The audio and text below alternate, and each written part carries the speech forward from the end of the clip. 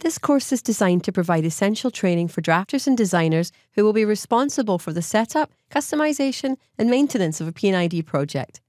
While having prior knowledge of P&ID drafting is not essential, it's definitely an asset. Please note that this course does not provide instruction on the processes and functions contained in a P&ID, and it will not teach you how to read a P&ID. So grab a copy of your client drafting standards and let's get started.